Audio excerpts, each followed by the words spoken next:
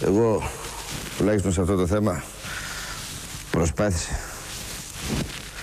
Τα χρόνια μου πήρα να διαβάσω το Μάρξ και μόλις τον τέλειωσα έπεσε ο κομμουνισμός.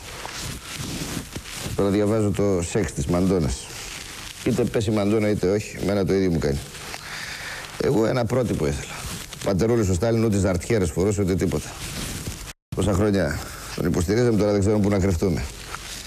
Μα άμα είσαι με τη Μαντόνα, το πολύ πολύ να παραξηγηθεί η Μαρινέλα.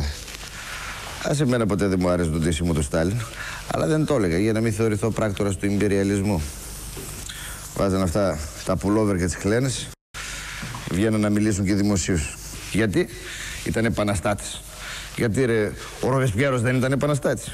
Που έβαζε τις ολομέταξε, τις πουκαμίσεις με τους φραμπαλάδες και τις δαντέλε και έβγαινε στον δρόμο και έσφαζε, έσφαζε, έσφαζε, έσφαζε. Μέχρι 300 άτομα το πήγαινε η πουκαμίση. Μετά έβγαζε την κόκκινη, έβαζε τη λευκή. Μόνο όταν τον πήγε στην Καρμανιόλα έβαλε μια μελεμόκοψη. Με λέω Βαγγέλη και από πανελλαδικές. Θα γίνω γιατρός. Έτσι λέει ο πατέρας μου, γιατί με τρία στοιχημιά λίγο δύσκολο, έτσι. Η μάνα μου θέλει να γίνω δικηγόρος. Κάτσε, πού απευθύνεστε, γιατρός ή δικηγόρος; Αποφασίστε, άμα είναι να τελειώνουμε. Δικηγόρος, δικηγόρος, λέει η μάνα μου. Τι δικηγόρος της, λέει ο πατέρας μου; Στα αρχαία τέσσερα έχει. Καλύτερο από το τρία της χημίας. Τι καλύτερο της λέει, το ίδιο είναι. Τι τρία, τι τέσσερα. Δεν είναι το ίδιο για μια μονάδα, ξέρεις πόσα παιδιά μένουν απ' έξω.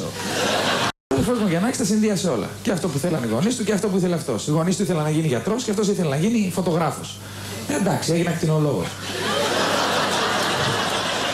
Τώρα νοικιάζει καλερί και κάνει εκθέσεις ακτινογραφίας.